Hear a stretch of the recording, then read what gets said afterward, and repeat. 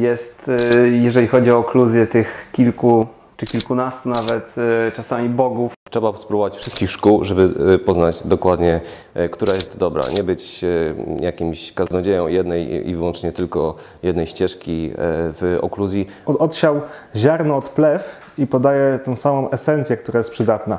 Podaje gotowe protokoły.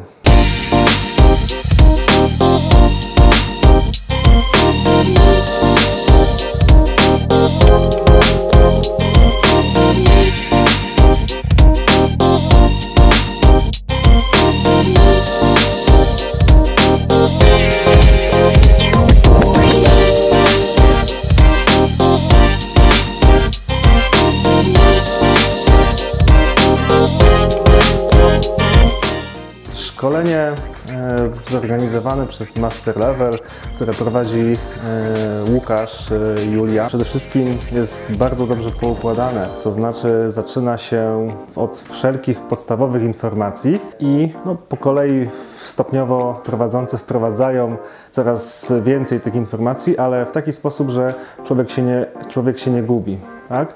Dzięki temu wszystko jest zrozumiałe i można później w kolejnych etapach tego szkolenia zastosować.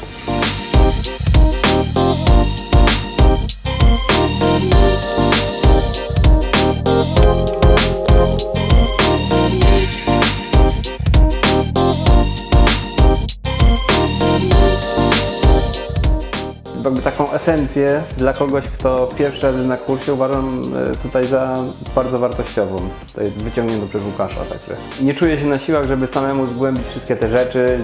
Jakby fajnie, że jest ktoś taki jak, jak Łukasz i on dla nas zgłębia to od strony czysto praktycznej.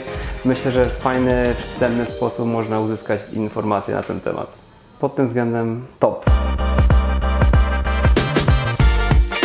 W okluzji e, to jest e, nauka, która cały czas się rozwija, prężnie zmienia i bardzo ważne jest to, żeby właśnie popróbować sprawdzać i te, te triki, te, te, te części z każdego systemu, z każdej filozofii troszeczkę też e, poukładać, poużywać. A przy tym szkoleniu mamy wszystko rzeczywiście. Dla mnie osobiście e, dużo rzeczy takich nowych nauczyłem się, które, które zacząłem też stosować, a których wcześniej nie widziałem na przykład. Fizjoterapia w gabinecie stomatologicznym jest potrzebna przede wszystkim dlatego, że pacjenci, którzy zgłaszają się na kompleksowe leczenie, często mają problem wykraczający trochę poza same zęby. Więc najczęściej to są pacjenci, którzy na przykład przygotowują się do kompleksowej odbudowy całego zgryzu protetycznej, albo są pacjentami, którzy się przygotowują do leczenia ortodontycznego.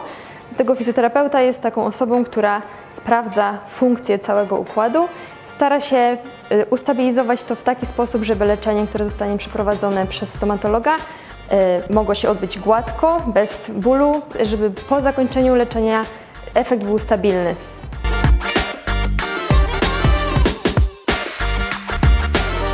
Tak naprawdę w 4 dni otrzymują e, wiedzę, którą ja zdobywałem przez wiele, wiele lat. A dla takich osób, które pracują już wiele lat, pozwalają utwierdzić się w przekonaniu, że to, co robią, robią dobrze, że mogą wdrożyć pewne ułatwienia i będzie to po prostu jeszcze lepsze dla naszych pacjentów.